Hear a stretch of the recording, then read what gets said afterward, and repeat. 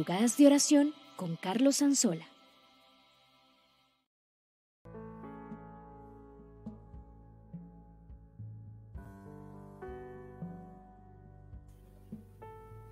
Ocho actitudes para ser bendecidos. Es el tema de hoy en madrugadas de oración con la palabra de Dios.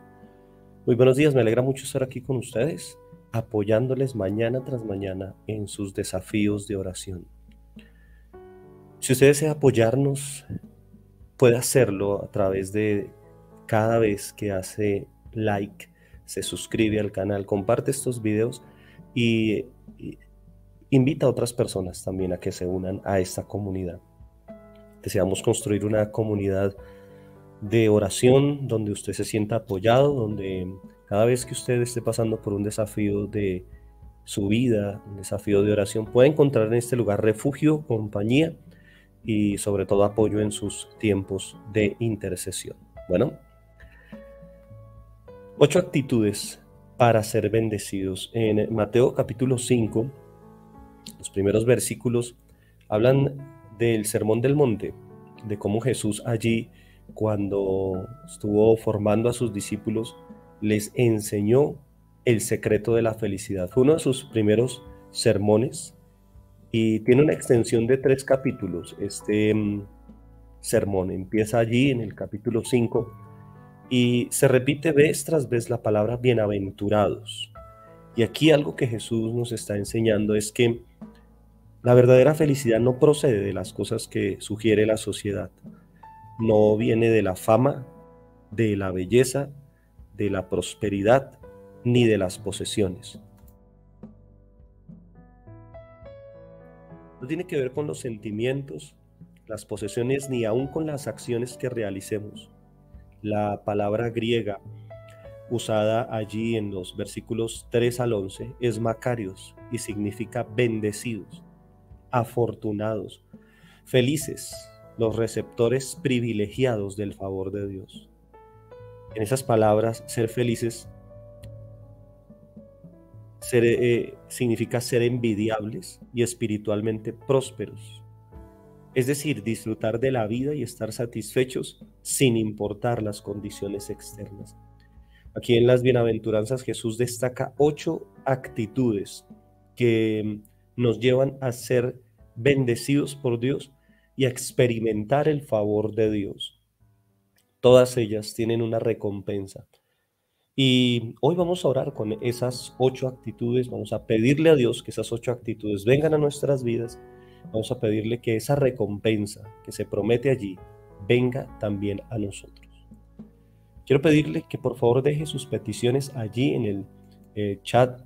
Quiero que por favor puedan dejar allí su petición también en los comentarios, si tal vez usted se mm, conecta en la grabación posterior a esta emisión. Y podamos orar en esta mañana, porque anhelamos ser bendecidos de la manera correcta. Queremos llamar bendición a lo que Dios llama bendición. Así que acompáñenme en esta mañana y oremos juntos para recibir esas bendiciones de Dios. Padre, te damos gracias por este tiempo, gracias por tu amor y tu misericordia, gracias por tu bondad, Señor. Gracias Dios por ministrar nuestras vidas mañana tras mañana. Venimos por tus puertas con alabanzas, alabándote a ti, Señor, declarando que tú eres poderoso, declarando que tú eres grandioso, declarando, Señor, que tú eres precioso en nuestras vidas, que tú eres lo más hermoso que nos ha podido suceder. Entramos alabándote, alabando tu nombre, engrandeciendo tu nombre. Gracias por salvarnos, gracias por amarnos, gracias por cuidarnos. Y entramos a tu presencia con acción de gracias. Te agradecemos por nuestros hijos, por nuestra familia. Quiero que se tome un tiempo y empiece a agradecerle al Señor todas las cosas que Él ha hecho por usted. todo lo que hizo en esta semana, todo lo que trajo de bendición a su vida. Dígale, Señor, gracias por bendecir mi vida esta semana. Si ha hecho milagros últimamente, háblele al Señor, dígale gracias. Si Él ha traído palabra a su vida, dile gracias al Señor, dígale, Señor, gracias por traer felicidad y bendición a mi vida. Pedimos que la sangre de Jesús hoy nos limpie, nos habilite para estar en tu presencia, nos haga aceptos delante de ti, Señor. Por eso hoy nos presentamos ante tu sangre, Señor. Gracias por los milagros que has hecho en esta semana. Gracias, Señor, por tu bendición en nuestras vidas. El versículo 3 dice, Bienaventurados los pobres en espíritu, porque de ellos es el reino de los cielos. Y aquí habla de estar espiritualmente desesperados por Dios. Son las palabras que nos enseñan que debemos ser y considerarnos pobres delante de Dios. Es decir, personas que se consideran dependientes de otros para su sustento, rebajados o debilitados para estar en la posición de comprender la necesidad de depender de Jesús. Dígale, Señor, yo dependo 100% de ti. Tal vez estás en medio de una situación en la cual tienes necesidades y dile, Señor, yo dependo de ti. Ser pobre en espíritu es una persona absolutamente dependiente de Jesús, dependiente espiritualmente. Tal vez has estado dependiendo de hombres, de tu esposo, de tu esposa, de, de, de seres humanos, pero hoy le vas a decir, Señor, yo dependo 100% de ti. Mi dependencia es totalmente en ti, Señor. Dígale, Señor, yo me considero alguien dependiente de ti para mi sustento. Dile, yo dependo de ti para que tú me sustentes económicamente, financieramente, espiritualmente. En esa deuda que tú tienes, le vas a decir, yo, Señor, soy dependiente absolutamente de ti. Vengo en esta mañana a declarar mi dependencia de ti. Vengo en esta mañana a declarar, Señor, que me rebajo, me humillo bajo tu poderosa mano. A someterme bajo tu poderosa mano para que el diablo huya de mí. Hoy me someto a ti para que tú reprendas al diablo por mí. Y hoy me considero como alguien dependiente de ti, Señor, para mi sustento. Dile, yo dependo de ti para mi gozo, yo no dependo de las circunstancias para mi gozo, para mi alegría. Yo no dependo de si hay dinero o no para estar alegre. Dile, yo dependo de ti, Señor. Yo no dependo si alguien está bien conmigo para estar alegre, Señor. Yo dependo de ti. Dígale eso al Señor. Yo dependo 100% de ti, Señor. Soy alguien absolutamente dependiente de ti. Comprendo, dígale comprendo mi necesidad de ti, Señor. Y dígale, Señor, gracias, porque aunque estoy al límite, porque he sido llevado a un punto límite, aquí yo dependo de ti, Señor. Los pobres en espíritu son bendecidos, porque a través de lo que Jesús ha venido a lograr, el reino de los cielos les pertenece. Dígale, Señor, yo hoy me humillo ante ti. Hoy, Señor, declaro mi dependencia de ti. Te entrego, Señor, cualquier altivez, cualquier orgullo. Declaro, proclamo mi dependencia de ti y te doy gracias porque tú me entregas el reino de los cielos. Me das la revelación del reino de los cielos. Traes el reino de los cielos a mi casa. Dígale, yo dependo de ti para que mi esposa cambie, para que mi esposo cambie. Yo dependo de ti para que mis hijos cambien, mis nietos cambien. Dile, yo no los puedo cambiar. Reconozco mi pobreza, Señor, mi dependencia de ti. Yo no los puedo cambiar, pero tú sí puedes. Pido que tu reino se establezca en mis finanzas, en mi hogar, en mi casa. Tal vez anhelas la prosperidad y la bendición de Dios en tu vida. Dile, Señor, yo reconozco que solo tú puedes traer el reino tuyo a mi casa, el reino tuyo a mi hogar. Felices, bendecidos los que reconocen su dependencia de Dios. Y dígale, yo estoy espiritualmente desesperado por ti. Así como una persona pobre está desesperada por las mínimas cosas. La persona pobre sale todos los días a mendigar porque su sustento depende de lo que haga en el día. Dile, aquí estoy, Señor, reconociendo mi pobreza espiritual, mi dependencia espiritual, reconociendo, Señor, te necesito. Y dile, trae el reino tuyo a mi casa. Yo necesito el reino tuyo de prosperidad, de sanidad, de bendición, de visión. Dile, trae visión a mi casa. Trae sueños, trae anhelos, trae metas.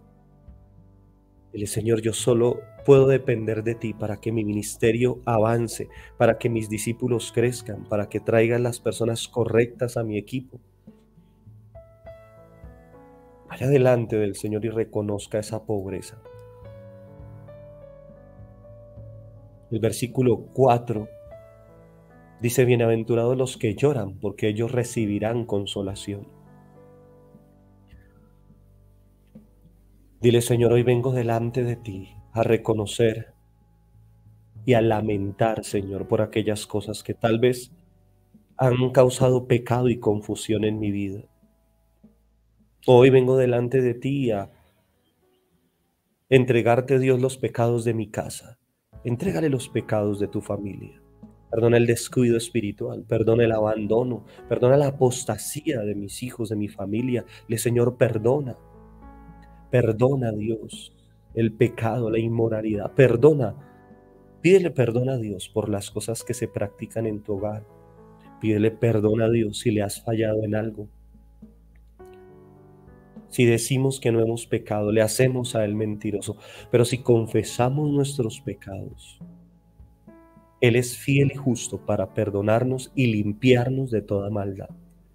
Entrégale esa culpa, entrégale al Señor ese pecado que, que cometiste, y que te ha hecho apartar de Dios. El pecado no es para apartarte de Dios, porque lejos de Dios no lo puedes solucionar. Ser, acércate al Señor en esta hora y dile, Señor, perdóname por este pecado. Y si tal vez el Señor quebranta tu corazón por ese pecado, vas a llorar y vas a lamentar y vas a decirle, Señor, yo te entrego ese pecado. Tal vez tengas que llorar porque has perdido un ser querido, tal vez tengas que llorar porque has perdido algo valioso en tu vida. Entrégale al Señor ese, ese deseo tal vez que tienes en esta mañana de llorar y decirle, me duele esto. Abre tu corazón al Señor, porque son felices los que pueden abrir su corazón delante del Señor y llorar. Ser honestos, ser sinceros con el Señor y decirle, Señor, me dolió esto me duele la indiferencia de mi cónyuge, me duele no poder tener para hacer esto, no tener las finanzas, me duele haber perdido a este ser querido que partió contigo, Señor. Está bien llorar, está bien que abras el corazón, abre tu corazón. ¿Cuál es el motivo por el cual quieres llorar? ¿Cuál es el motivo por el cual tu corazón está dolido? Dile al Señor, Cuéntale, Señor, esto es lo que me duele. Si tú lloras delante del Señor, va a venir felicidad, va a venir bendición a tu vida porque tú recibirás consolación. Y dile, Señor, hoy recibo la consolación tuya. Hoy recibo la consolación que proviene de ti, Señor. El Señor, yo recibo esa consolación que proviene de ti, Señor. Ese consuelo que solo tú sabes dar. Hable con el Señor. Hable con Él y entréguele a Él todo aquello que le ha dolido, todo aquello que ha estado causando dolor en tu corazón. Tal vez es tu hijo, tal vez es un hijo, un familiar. Dígale, Señor, esto es lo que me duele. Y si tienes que derramar tus lágrimas, dile, Señor, yo te entrego el dolor que hay en mi corazón a causa de mi familia.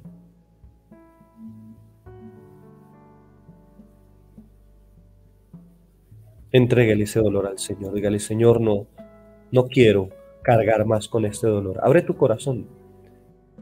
Dile, no, no, no lo quiero cargar más.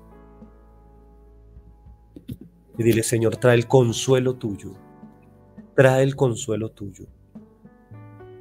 Bendito sea el Dios y Padre de nuestro Señor Jesucristo, Padre de misericordias, Dios de toda consolación. Él es el que está ahí contigo, el que te está consolando. Serás bienaventurado cuando seas consolado. Entrégale al Señor tu ansiedad, entrégale al Señor tu estrés, entrégale al Señor lo que te preocupa, entrégale al Señor todo lo que te roba la paz y el gozo. Ve al Dios de toda consolación. Señor, reclamamos tu palabra de segunda de Corintios 1:3. Padre de misericordias, Dios de toda consolación, venimos a ti, consuela. Hoy oramos por cada hermano que está, está dolorido, que está afligido, Señor, por alguna situación. Consuela, Señor. El cual nos consuela en todas nuestras tribulaciones. Dile, Señor, consuela mi vida. Oro por cada hermano, por cada hermana que está pasando por tribulaciones para que podamos también nosotros consolar a los que están en cualquier tribulación por medio de la consolación con que nosotros somos consolados por Dios. Porque si abundan las aflicciones, también abunda en Cristo nuestra consolación.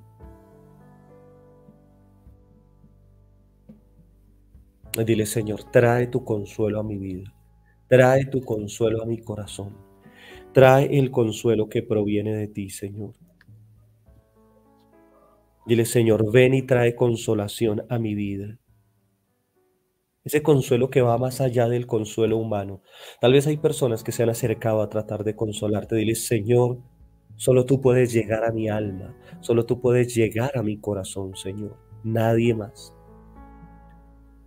Solo los seres humanos pueden decir, lo siento, Qué pena que haya pasado esto. Pero solo tú, Señor, puedes llegar y sanar lo profundo de mi corazón. Dile, Señor, sana mi corazón hoy.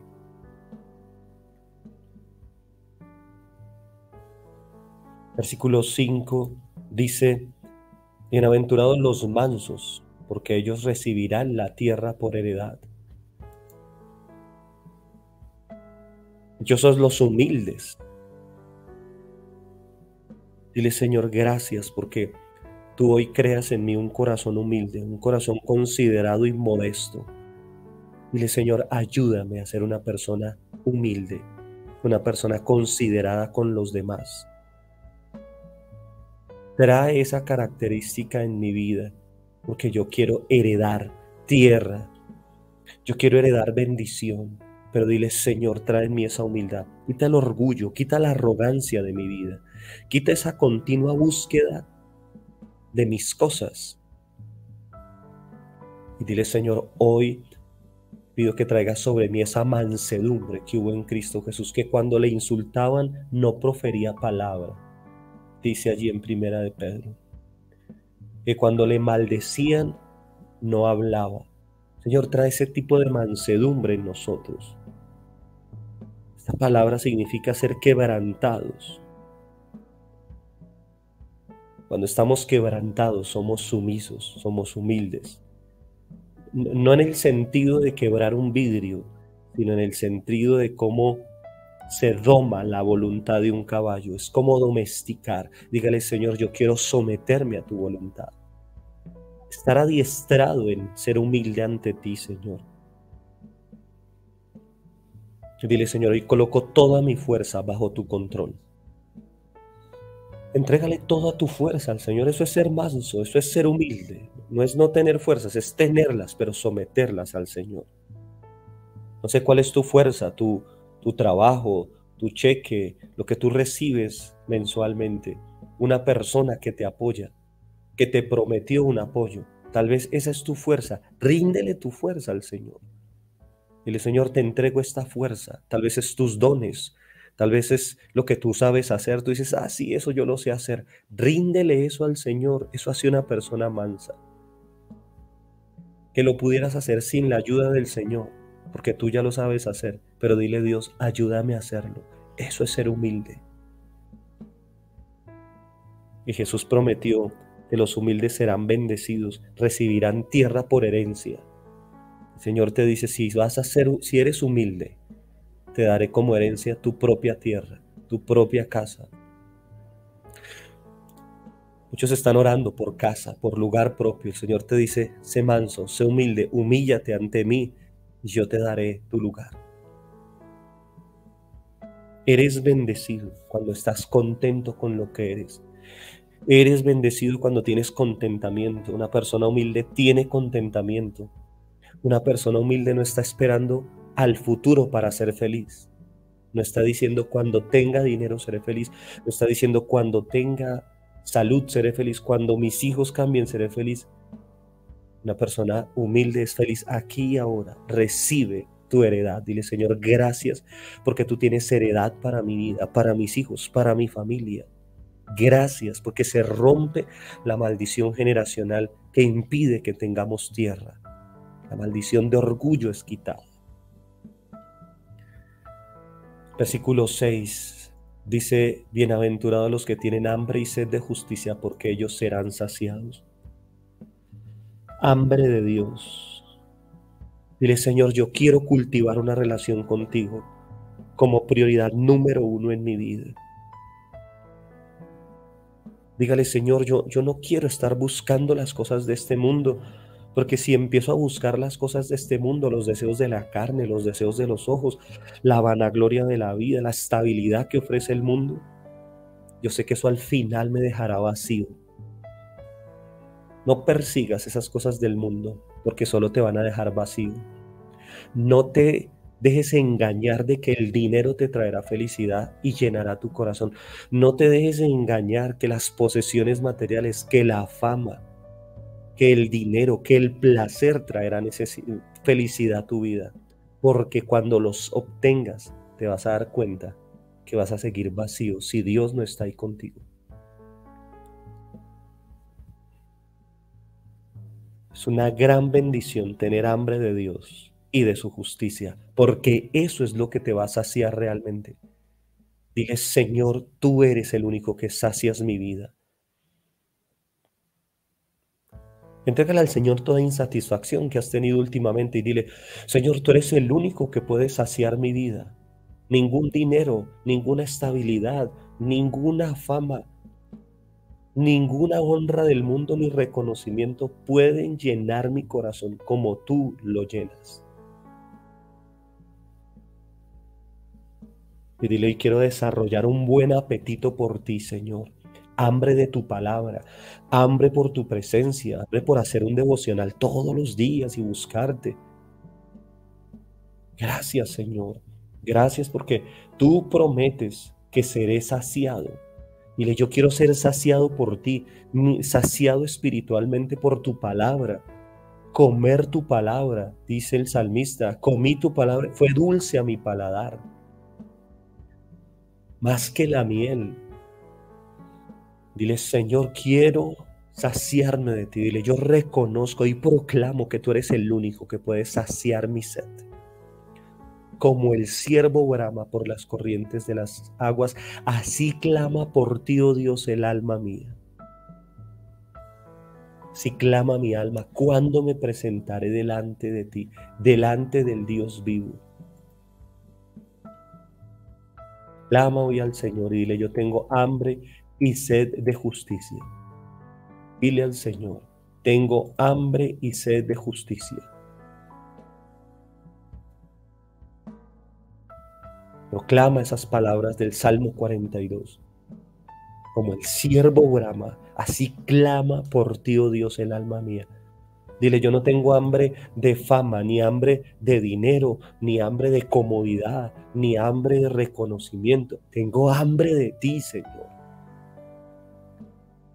hambre de tu presencia, porque clama por ti el alma mía. Mi mayor necesidad es espiritual. Mi alma tiene sed de Dios, del Dios vivo. Mi alma dice, ¿cuándo vendré y me presentaré delante de Dios? Dígale al Señor, tengo hambre de ti. No tengo hambre de las cosas del mundo. No tengo hambre de las cosas materiales de los anhelos pasajeros. Tengo hambre de ti. Día y noche solo me alimento, Señor, de ti, Señor. Dígale, Señor, hoy vengo delante de ti a declarar mi hambre de ti, Señor, porque seré saciado. Solo en ti hay verdadera comida, solo en ti hay verdadera bebida. Tú eres el pan que descendió del cielo, no como el pan que comieron en el desierto, sino el pan que sacia. Tú eres el agua viva. Porque cualquiera que beba de las cosas del mundo, cualquiera que beba de las cosas materiales, efímeras y pasajeras de las modas del mundo, volverá a tener sed. Pero el que beba del agua que tú nos darás, jamás volverá a tener sed. Lo que Jesús le dijo allí a la mujer samaritana. El que beba del agua que yo le daré, de su interior correrán ríos de agua viva y jamás volverá a tener sed. Dile, Señor, yo quiero esa agua. Como le dijo la mujer samaritana, dame esa agua, quiero esa agua de beber. Dame de beber de tu agua, Señor. No quiero tener sed jamás. Y le quiero ser saciado, porque tú eres verdadero pan y verdadera bebida. Juan Jesús dijo allí en Juan 6, yo soy el pan de vida que descendió del cielo. El que come mi carne y bebe mi sangre no tendrá sed jamás, no volverá a tener hambre. Dile, Señor, sacia mi vida. Versículo 7.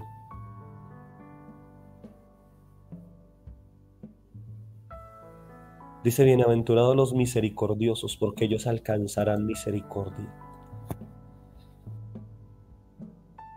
Dile, Señor, ayúdame a ser una persona compasiva y que perdona a otros. Tal vez eres una persona de temperamento fuerte y se te facilita la disciplina y se facilita el orden en tu vida. Y tiendes a ser duro y a ser reprensivo con los que no lo son. El Señor hoy quiere que haya misericordia en tu vida, porque el que trata sin misericordia, dice Santiago, sin misericordia será tratado. Tú un día vas a necesitar misericordia es mejor que la entregues, que la dispenses constantemente. Y dile, Señor, ayúdame a ser una persona misericordiosa, porque eso va a traer felicidad y bendición a mi vida, Señor. Porque yo voy a necesitar misericordia, Señor. Ser cristiano significa perdonar lo inexcusable, porque Dios ha perdonado lo inexcusable en ti. Los compasivos son bendecidos porque están, serán tratados con compasión. Y el Señor trae sobre mí esa compasión, trae sobre mí ese carácter compasivo con las personas que están alrededor de mí. Quita la dureza, quita el ser excesivamente perfeccionista, Señor. Quita el exceso de perfección que quiero a mi alrededor.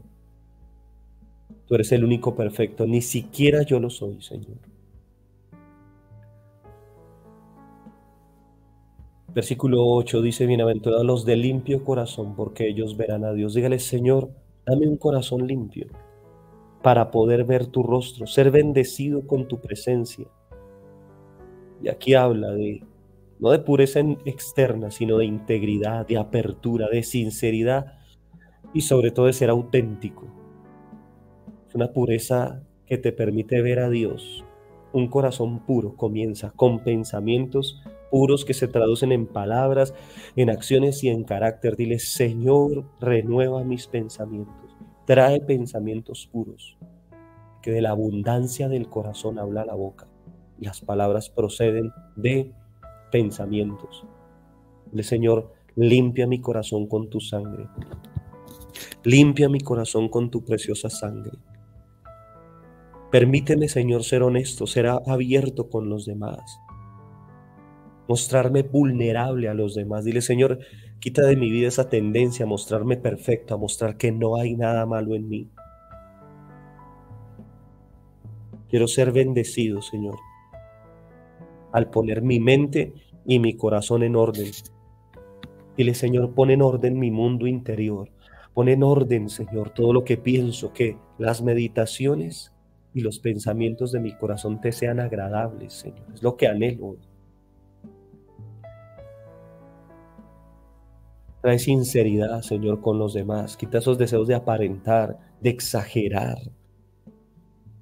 Perdónanos cuando exageramos. Perdona las medias verdades. Perdona las verdades exageradas. Perdónanos, Dios. Ayúdanos a ser honestos, a ser sinceros. A no agrandar y no achicar, sino decir lo que es correcto. Versículo 9 dice, bienaventurados los pacificadores, porque ellos serán llamados hijos de Dios. Queremos verte a ti, Señor. Queremos ser hijos tuyos. Señor, trae esa paz a nuestro corazón. Quiero trabajar por la paz en mi casa. Quiero trabajar por la paz con mis hijos, Dios. No provocar conflicto, sino esforzarme por la paz, Señor. Porque tú viniste, Señor, a lograr la paz en la cruz y concederla, dice Colosenses 1:20. Tú lograste la paz por medio de la cruz. Y yo quiero ser ese bendecido, yo quiero ser feliz porque soy una persona pacificadora, ser llamado hijo de Dios. Yo quiero mostrar, Dios, a la gente la manera de cooperar en vez de competir con ellos. No quiero competir, quiero cooperar, Señor. No quiero envidiar, quiero cooperar. Dígale, Señor, limpia mi vida de toda competencia, de toda envidia. Entrégale la envidia al Señor. Entrégale la competencia que surge en tu corazón.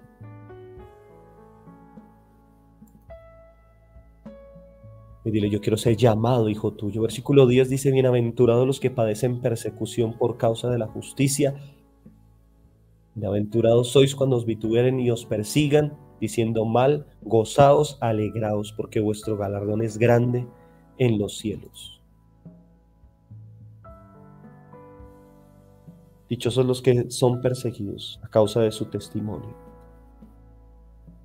No, no, esperes que el mundo te felicite por ser santo.